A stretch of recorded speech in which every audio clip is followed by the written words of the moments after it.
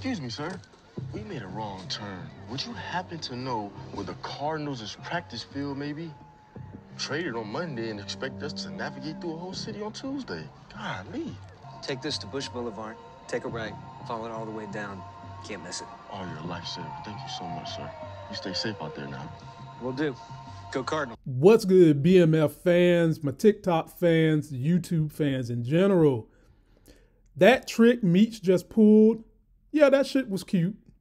It was cute for TV. And I like how they're making Meech so chess playing in his mind with all these things.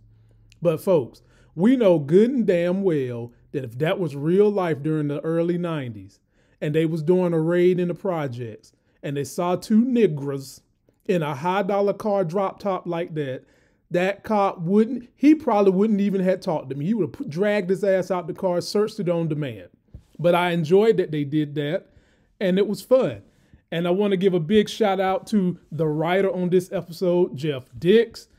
And let's give a big shout out to the director on this episode, the man playing Charles Flenory and his new album, Losing Lucille, with my favorite number two track, The Easy Rest Motel. Yes, yes, yes. Russell Hornsby, ladies and gentlemen.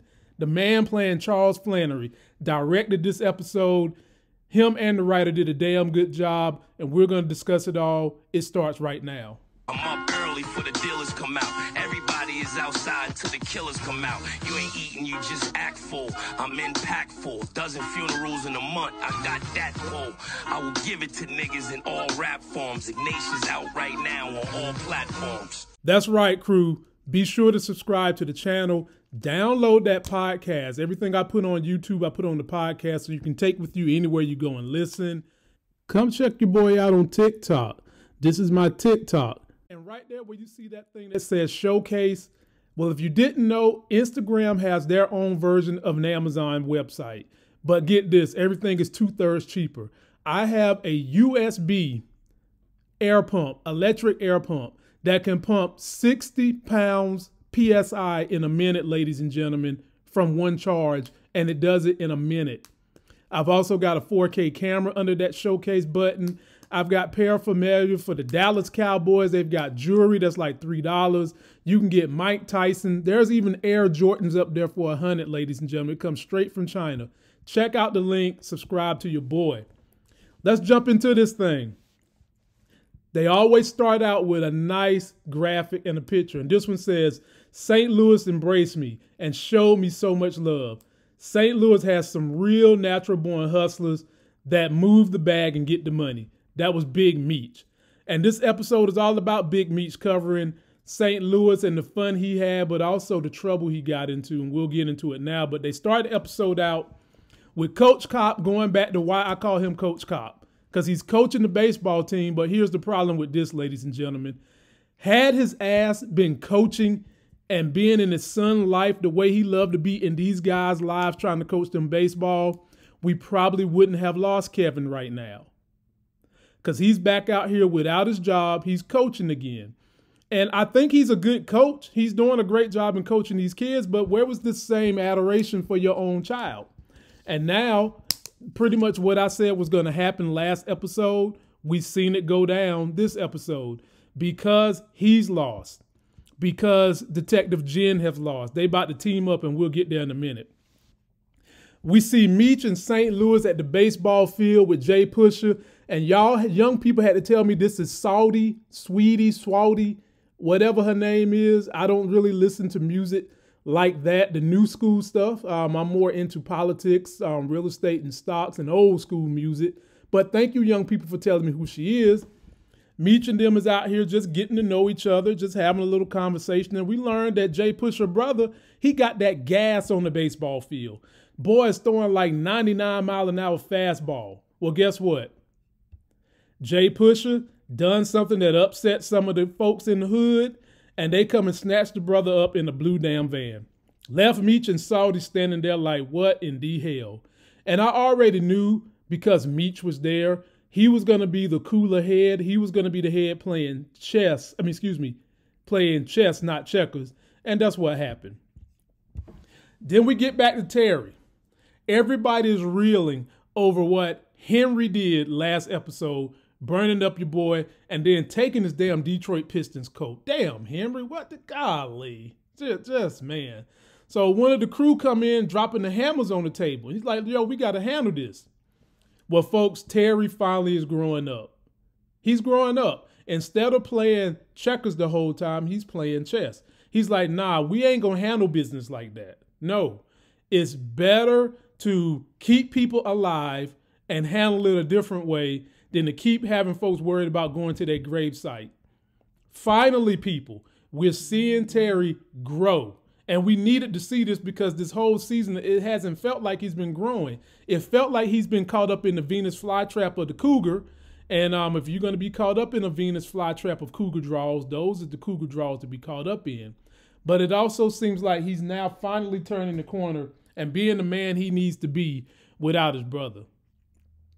Get back to St. Louis and Meech. And Jay Pusher gets a phone call from the bum ass nigga that took his brother.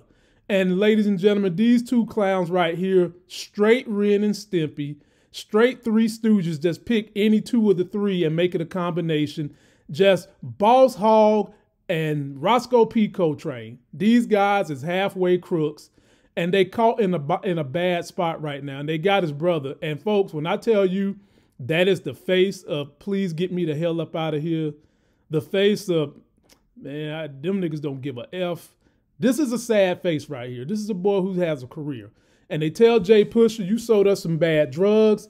And if you want your brother back, give us the drugs plus the money. Jay Pusher immediately is like, hell no, nah, you're not getting none. I'm coming to kill you. And that's when Meech had to step in and say, let's play this a different route. But right now, Jay Pusher is so mad he ain't trying to hear it. Saudi character had to, if I'm pronouncing her name wrong, y'all forgive me. Um, but her character is saying, look, maybe we should listen to what Meech has to say. But if y'all didn't pick up on it, I already picked up on the energy that there was something between her and Meech. She was feeling him, he was feeling her. And we'll get to that later on. But right now, Jay Pusher ain't trying to hear nothing. He's kind of acting like Terry a little bit and Meech had to remind him, bro, I got a brother just like you. Let's let cooler heads prevail and do something different. But Pusher won't trying to hear it. Oh Lord, we get to my man Chuck. Boy. Now, folks, I know that there's been some infidelity with Chuck. I get that. But him and his wife are still married and they living together. This is just a damn no-no. Reese, you can't do this. Now, whether Reese dropped it off himself or he sent it there, it's still a no no. And we, we've realized this episode, Lucille don't want to be in a relationship. She just wants to have fun. She just wants to be wined and dined, taken out, uh, you know, a little F me, screw me here and there, and just have fun. But the problem is you're dealing with two men who want you long term. And when you stringing along dudes, that ain't right either. How many how many of us dudes know women that'll just string you along for entertainment and fun and value? Now it becomes a problem when you ain't getting nothing out the deal. They ain't giving up no draws and they stringing you along for all your money. That becomes your problem, fellas. But then you do have some that'll keep letting you hit it. They have no intention of dating you like long term. Ultimately, that becomes your problem too, fellas, because you need to step away from it. But right now, this man disrespected Chuck, sent flowers to the house, then left a damn note in it. And they went so fast on the note, I slowed it down for you. Listen to what this damn note say. The filet mignon at the restaurant will change life. Can't wait to see you tomorrow. Damn, he gonna see her tomorrow. Hmm. Reese, not Maurice, not Dr. Thunder from Down Under, but Reese like a Reese cup, like something she can gnaw on, something she can suck on, something that melts in her mouth, not in her hands. And Chuck sitting here like, what in the hell? This is my house. Tell your little makeshift boyfriend to quit sending his great value flowers to the damn house, okay? Stop doing it. And at first, it looked like she thought Chuck had did it at first. And I was like, okay, Chuck, you should just take that car and pretend like you did it. But Eventually, that would have just made her mad because she would have found out the next day. But Chuck is saying, look, it's going to always be me and you. And he was out of pocket for saying that because right now she's not feeling that. He can't say that. You can't be trying to tell someone, determine somebody else's life track when they kind of feeling the way they feeling. So she's telling him, look, you two guys can pull your penises out and have this high school fight. Right now, I don't really know what I want to do. I just want to have fun. And that's what she's trying to do. Terry, in all his great wisdom, from the earlier scene told the fellas he's going to go above Henri and talk to Blaze about fortifying the deal. And Blaze has tremendous respect for Terry, so much so he brought Terry a gift for the baby. And in the end, Terry pushed it back to him because Blaze don't want to check his daughter. And Blaze, can you blame him? He don't want to check his daughter because it is his daughter.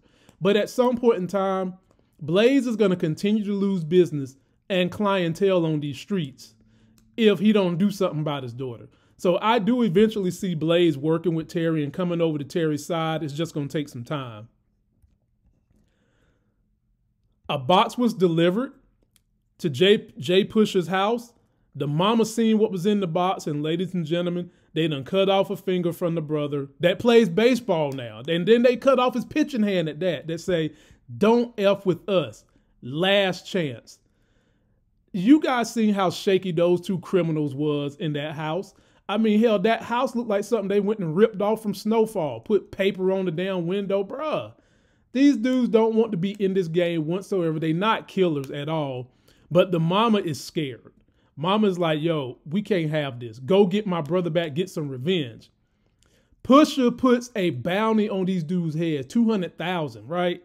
And Meech is still trying to tell him, yo, calm down. We can't do it like this we can't get all this heat out here on these streets. We probably should use honey instead of vinegar, but Jay Push is mad. And who can blame him? Everybody be mad, but you still got to think the long game, which is what Meech always does. And Meech tell him he's putting a plan together. So then Meech gets on the phone.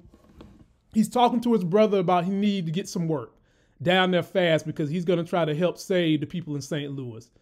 Now, Terry got on my nerve with this, but I can understand where Terry's coming from. Terry wasn't feeling it Terry's like, dude, you Captain Save a Hole everywhere you go. Well, ladies and gentlemen, on the flip side of that, ain't Terry playing Captain Save a Hole with Cougar draws? Pretty much. So he fussed his brother out and says, stop trying to be a saver everywhere you go. But you got to think, Meech is playing the long game. It's not just saving them, he's putting people in place for a long, productive business. That's what Meech is doing. What is Terry doing other than landing some draws? That's 20 years his junior even though they good and wet, they still 20 years his junior. Well, Terry works with him, say he gonna get it down there, and we saw how that went. But then Terry decides to go over and visit Lawanda. Now, for all my dudes who like cougars, I'm not picking on them because I mean there are some hot cougars out there. Now you know I've told y'all that old women is where it's at. Here's Lawanda's mama in her cougar outfit. and she obviously has an appetite for items. Terry comes in with his gifts and all that good stuff. And Lawanda's like, I don't want your Toys R Us shit. I want you here helping me with this newborn baby. And ladies and gentlemen, Lawanda has a legitimate gripe, but you do want the stuff too. Because one thing dealing with kids, their sleeping schedule is a mess. I've got a nine month old in my house paired with a three year old, and it, it, can be it can be stressful. It can put age on you now. Sleeping is one of the things that ages your ass fast, lack of sleep. And so Lawanda basically cussed him out and said, I don't want your stuff. I want you to be here for the baby. And then Terry gets into it with Mama. And Mama's still picking on Cougar Draws too, except for she called her another derogatory old name. And I guess Mama's like, I really don't want you dating anybody who's two years younger than me and I'm your damn mama. But then T had to clap back on her and say, look, Nikki told me all about Dr. Reese. And did you see how mama got flustered like a fuddy duddy from the Power Rangers? Just a putty. Get on my business. Yeah, ain't nobody doing, nobody's perfect. And if you're going to throw bricks at a glass house, make sure your house made out of steel and not glass. Because she he has a point. What you to do, mama? What is you to do? And basically Terry's like, look, I'm gonna see my grandchild. You need to handle your business with Dr. Reese. Figure out if you're gonna be with dad, separate what you're gonna do. Then we get to the point where somebody that wants that bounty, they find Ren and Stimpy, the non-killers in the drug game. But dude blast up in there, get his ass killed, ladies and gentlemen. I thought he was gonna do something. They got him, they got the boy up out of there, and they got the moving. So at least we know one thing. They can run. they might not be killers, but they asses can damn show for show run. Then we get to Nikki in school. She goes through the metal detector, and that was something new to me. My wife is from Detroit, and she told me that they did have metal detectors up in Detroit. They didn't have them in Greenville, North Carolina. She goes through the metal detector. They find the knife, and guess what? Her little in the name of Jesus boyfriend from church is gonna take the rap for her. This dude, this dude don't even know the gravity of what he's about to do. He's pursuing Nikki so hard, he's about to get himself in trouble over her. And I'm not saying, I mean, like on the real, that's admirable. It sounds admirable, but ain't no parent would be happy if their child done that for somebody else. You in high school, you never know how your life gonna turn out. So they send Nikki where she need to go, and we'll get there in a minute. The deliverer of the drugs, something, somebody hit his brake line, something happened. And I'm wondering, post your comments, guys, what y'all think happened? Was this just a fluke accident with them brakes, or did somebody hit him? And he runs into somebody's crib. He's out, drugs gone. He probably going to jail. We never gonna see him again. Damn, dude. Then we get back to Nikki. She's at the police precinct. Mom and dad come in, and she had to state her grievances again. She's just like, look, after what I have seen, somebody dying in front of me, I felt like I need protection. And she took the knife from Charles' working set, right?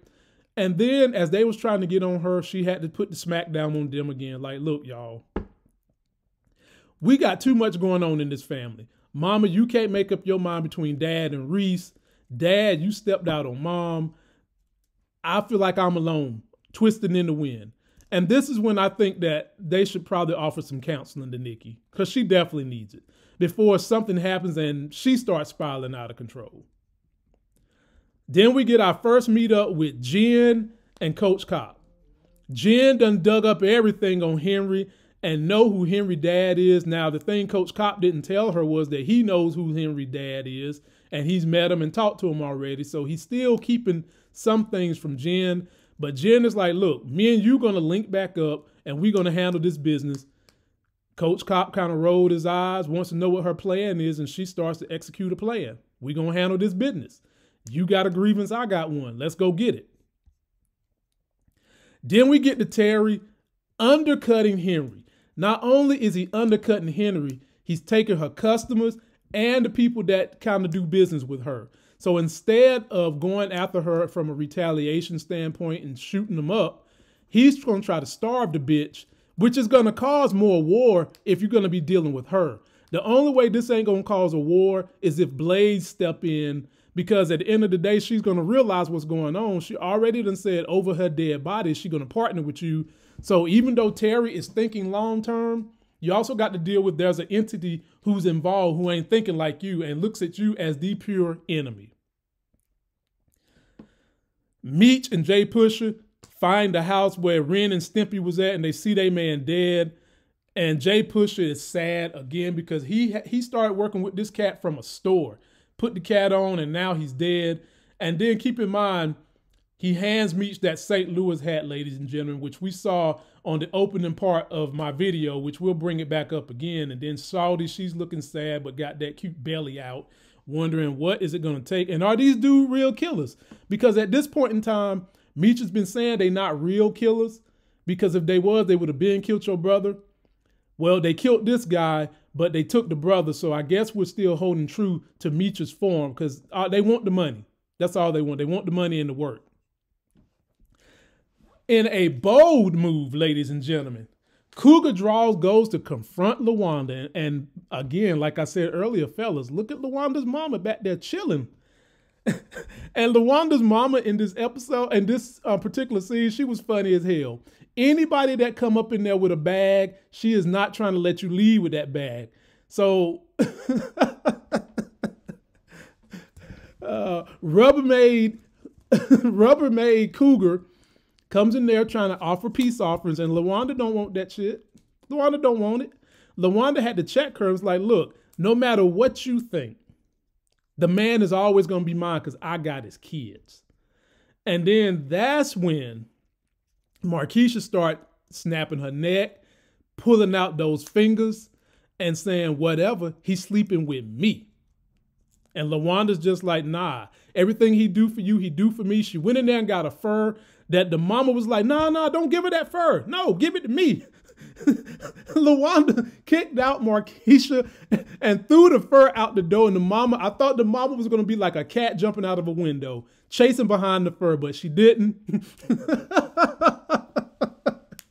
that mama is picking up anything that hit the flow, but she moved on. And I guess they're going to distance themselves from Markeisha, but both of y'all still letting Terry get away with what he's doing. So we'll see what happens. Meech homeboy, the PA boys come through from Michigan with the work. And that's when we get into a situation. They in the hood, and ladies and gentlemen, you would have thought it was the Red Dogs, done came to St. Louis. Just coming to the hood, police just tackling people, got a stakeout in the damn projects. And that's when Meech pulled that caper from the beginning of the episode. And like I said, ladies and gentlemen, you know good and damn well this cop would not have let him get through. It was a great story. I love the way Meech put this together. He had the baseball stuff in the back seat, talking to the cop who looked like he loved baseball, but Meech, it wouldn't have worked. And so we go from one cop that would have pulled a nigga out of car to another cop who really wants to pull a nigga out of a car. We got this guy, Vince, who pulls over Markeisha. And y'all, do y'all see the way Markeisha is looking at him? She's looking at this boy like he is a well cooked pork chop smile so big her ears getting damn wet. She want this dude, right? And she's thinking he's she's getting a ticket, and all he's doing is giving her his phone number. But at the same time, this shows a little dissension in the ranks with Terry. This dude is somebody she knew from the past, and she was so ready to give it to him. Like, T, you sure this the one you want to have on your arm? Because that thing was thumping. That thing was wet when he when she took this note from him. Okay, look at the look on her face. That is the look of dude. If you just pull me out, handcuff me, you can do whatever the hell you want to do to me. And we'll get back to them later.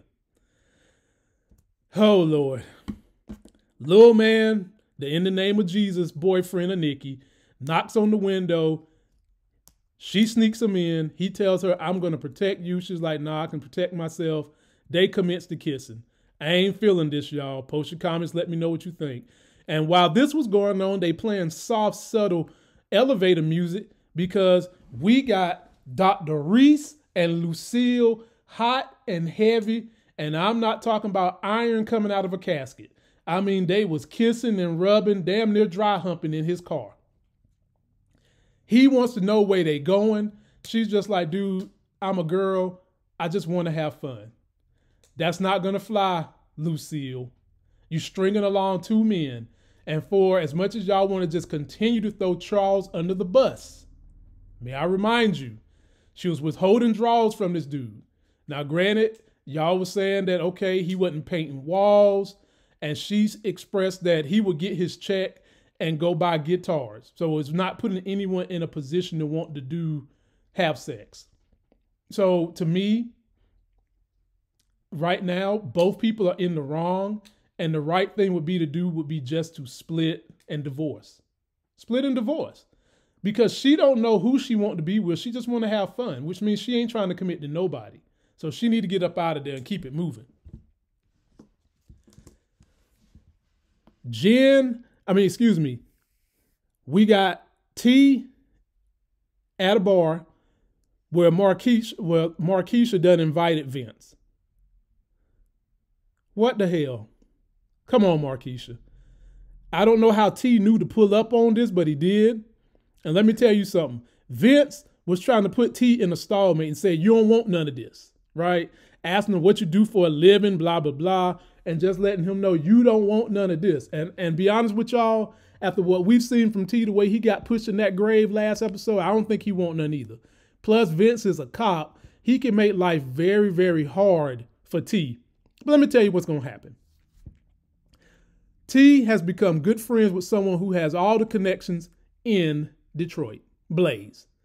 All T gonna have to do is let Blaze handle this um filthy McNasty brother who ain't got no good intentions. That's all he got to do. And I did not like how Markeisha thought it was cute that Terry was jealous. That ain't, ain't nothing cute about that shit. She even went as far as say, "My pussy so wet." reach down there and touch this old cougar pussy. I ain't like that. But for whatever the reason, she got T hung and sprung, and he ain't going nowhere. Then we get Jen going undercover. She's got some connections with people who's in the building working with Henri, and Henri, dumb, I just won't panty draws, but didn't decide to check to see if she's a cop, didn't try to check on nothing. All she did was ask the lady for her name. She didn't do nothing. Nothing. Now, what you're gonna want to know is if Blaze and that captain that put her on leave is gonna come through and warn Henri. But Henri plays checkers, y'all. She plays checkers to get to her own draw so she can pull out her biggest dildo that she found at Adam and Eve and use it on somebody. But I guarantee you, she won't be whipping Jen around the room the way she's whipping around everybody else. Then, ladies and gentlemen, we get to the end where Meech done put his plan in place, and he meets one of Ren and Stimpy that took Jay Pusher's brother, and this is what happened. Your book says an eye for an eye, two for a two.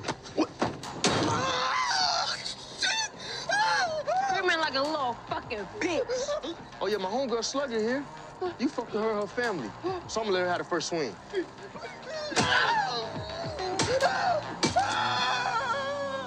Beat that bitch with a bat, stabbed his hand with a butter knife. Mm-hmm. That's what happened. Then Jen goes back to Coach Cop, let him know we a team. I got in with Henri and I got another meeting. Coach Cop is in on it. I think these two are going to work that middle and get in what they need to make things good. Post your comments. Let me know what you think. Baby boy is back with mama. Everybody is thanking Little Meech. Jay Pusher said, "You family for life." They tell him, they tell him, baby boy, look, there's plenty of people that pitched in baseball with three fingers. You still can do it. I like Salty's character in this episode. Love the hairdo. That's kind of like a throwback to Salt-N-Pepa. I really liked it, and I like her door knocker earrings. I like this episode. It was a good episode. But like I said earlier, you could feel the tension between her and Meech, and Meech got her up in the sheets. But folks, I gotta complain about stars and why do they do they stars like this? Anytime stars has a love scene, you would think that all they got is queen beds or smaller. We done seen the king of the Cape Aceto having sex in a full size bed. It was somebody on power getting it in on a twin mattress. And now they done put my man Meech and this young lady on what looks to be maybe a full mattress too, with a baseball bat in the background. But folks, let me tell you, let me tell you, it ain't gonna stop nobody from getting it in. Hell, you don't even need no bed to get it in. But stars, y'all got to have some bigger beds. Get these folks some bigger beds. And then we get T talking to his man, letting him know that the plan is in place. We done just about excommunicated Henri from all her customers, and we taking her workers. And they raising one up for the homie that they lost. Then Meech is right back in the A, sending shots to his crew. They happy to see him. They let him know that shit is getting crazy in the A. Um, Glock and the MKs is trying to run shit. The Red Dogs is beating the hell out of everybody. It's a mess in Atlanta. But Meech is like, don't worry, I got the remedy that you need to get this money, and I'm back. Wow. Post your comments, y'all. Let me know what you think. How much did you like this episode? I really liked it. On a life gain scale, I'm gonna give this episode a good old eight out of eight out of ten. Good job, Russell Hornsby, on great directing. Make sure you go ahead and make that album and put a special emphasis on track number two for me. And that's going to do it for this video, y'all. Don't forget to like the video, comment, subscribe, get that life gain. Download this on my podcast, Life Gains Podcast. But also come join me on TikTok. I do post this content on TikTok. But more importantly, if you're into making deals and saving money on your Air Jordans, um, tech, 4K cameras, computers, um, all kinds of stuff, go to my TikTok, go to that showcase and click on it. They've got everything you can think of way cheaper. It just takes four days to get to your house. And until that next sexy as hell video, I'm out.